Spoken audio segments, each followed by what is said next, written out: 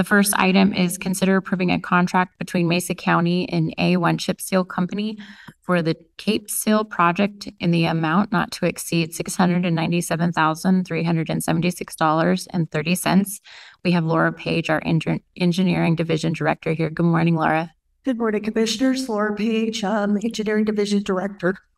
Um, Public Works Department, um, normally will, um, do overlays and chip seals on our roads for maintenance. Um, this year, we are looking at doing cape seals, which is a treatment in between that other communities, um, in the surrounding area have done.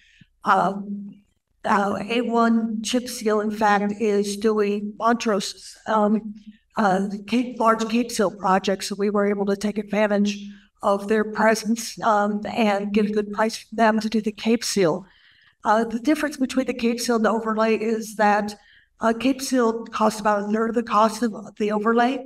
So we can, uh, treat more roads and, um, uh, have the, extend the life of the pavements anywhere around ten to twelve years.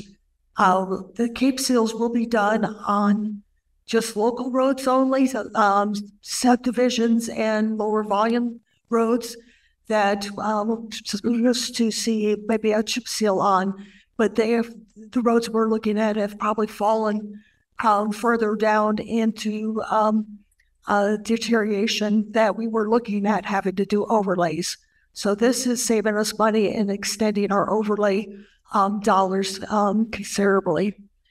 Um, the chip seal or the Cape seal is basically a chip seal with a slurry seal on top of it that um, binds the chips down and provides a better um, riding surface and appearance than a chip seal too. So uh, we feel that uh, the public's going to be very satisfied with that. So with that, I'm open to any questions. Thanks, Lauren. Do you guys have questions, comments? Just in terms of application, it's different than a chip seal. It only goes down at one application, correct? You don't have to put the bar down and then the chips and then come back and brush the road, right? Um, uh, no, we still have to do that and then afterwards come down, to come in with the slurry. So it's like a three-step process.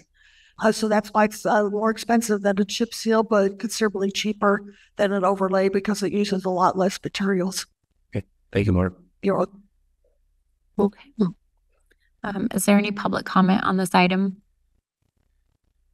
Okay, seeing none, I'll entertain a motion. I want to provide item number one is entered into the record. Second. All in favor? Aye. Aye, motion carries. Thank you so much.